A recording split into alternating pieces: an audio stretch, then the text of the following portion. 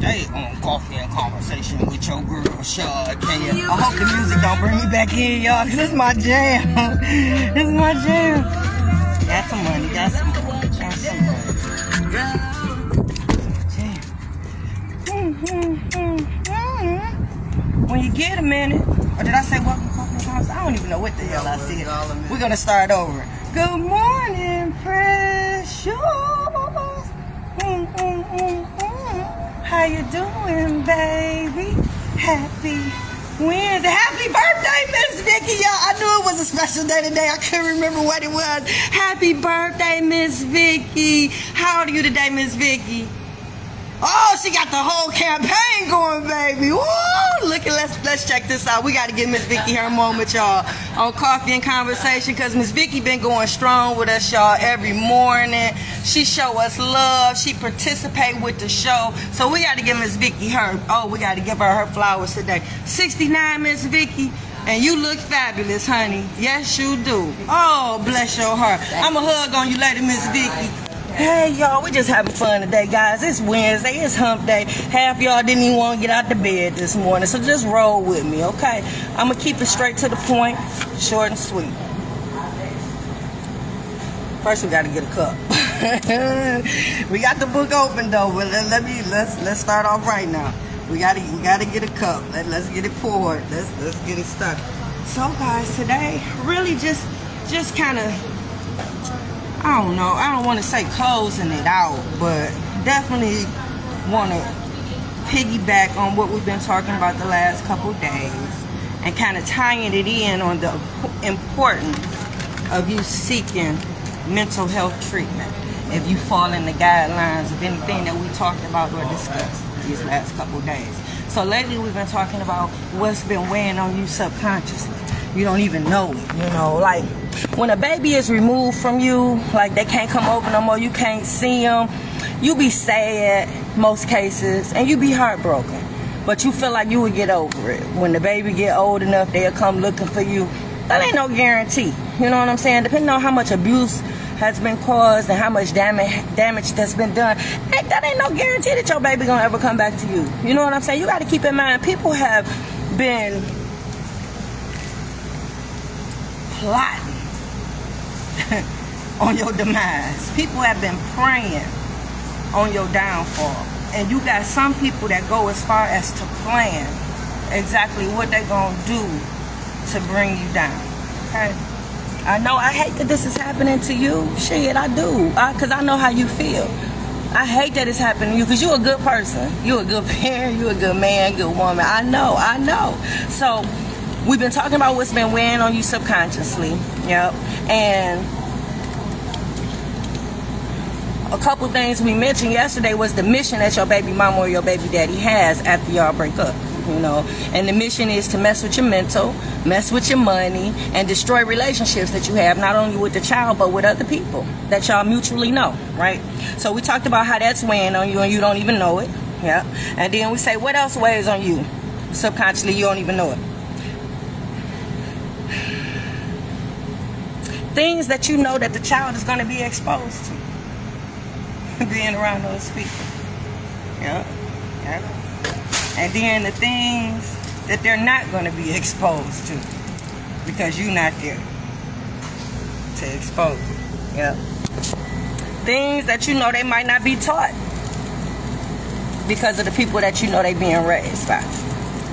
And because you're not there to teach them. Yeah. You'll be surprised how much that weighs that weighs on you. Like every day, I wonder who teaching my baby how to fix stuff.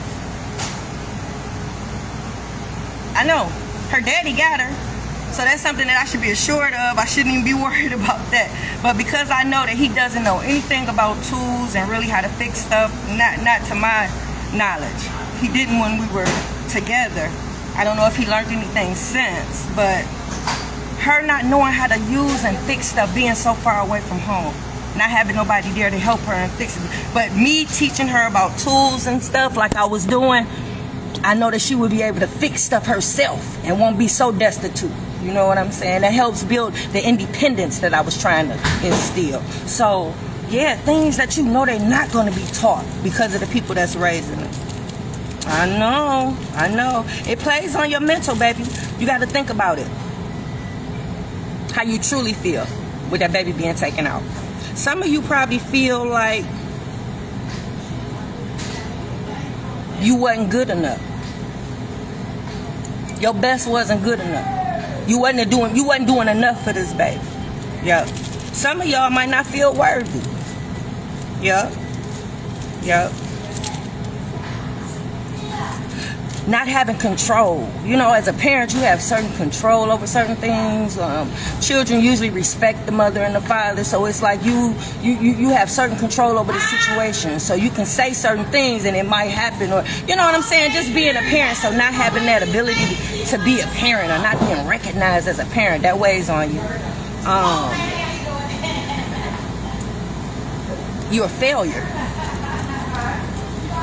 Because for them not to have that baby around you at all, you you a failure. You failed that baby in some kind of way. That baby couldn't learn nothing from you. Hey, twin, how you doing? Hey, Sean, how you doing? Yeah, some of you probably feel that way. Yep. The rejection, being rejected by your baby. Because you know, it's kids out here that fight for that relationship with their mom and their daddy. Yep. They mom and daddy try that mess on them, try to talk about their mama or something like that. You got kids out here that defend their mama. You got kids out here that defend their daddy against their mama and, and they, yeah, they don't allow that. Yep. No, you gonna take me over my mama house. You gonna take. I want to see my mama. I'm gonna, I'm gonna demand it. And if you don't do it, then I'm about to call grandma and I'm about to tell her you won't let me see my mama. I'm about to call my TT. My TT about to come and get me. I'm about to call my uncle. It's kids that fight for you. So if your child ain't fighting for you and you ain't seen your baby in years, you don't know what's going on with your baby, the rejection is weighing on you. Can you imagine being rejected by your own child? The child that you brought into this world? That's supposed to be the only person that's supposed to love and cherish and respect you. Can you imagine being rejected by that child? That child not wanting nothing to do with you? That's weighing on you subconsciously.